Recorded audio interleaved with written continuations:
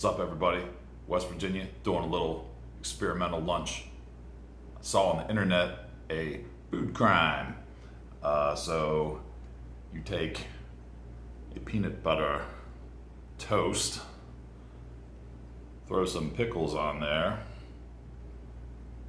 do do do, do and some sriracha. And I knew I just had to try this.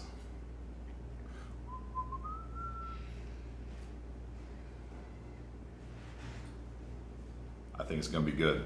I grew up with uh, with peanut butter and pickle sandwiches. Um, I've always done dill. I think a lot of people do uh, the bread and butter style pickles for this, or for that. Um, but these are sweet fire dill pickles that someone gave me, I think Christmas last year, maybe. And this particular uh, sriracha was also a gift. I think my friend Heather gave me this uh, Vermont maple sriracha, small batch. Yeah, smells great. Love this stuff. I've been tearing it up. All right, let's see what this is all about.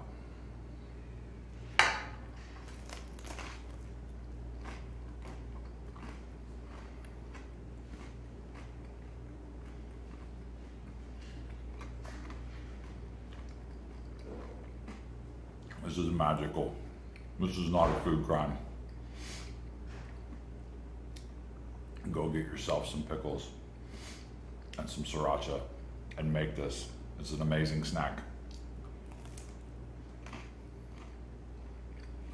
Get the all these like different savory flavors between the pickles and the bread or the toast, peanut butter. Just a little spice from the sriracha It's nice, you know. Nothing gonna blow anybody away. Really interesting how the spice plays off of the peanut butter. Mm. All right, well, that was a fun little experiment. Not a food crime, deliciousness. Try this. I'll see y'all soon.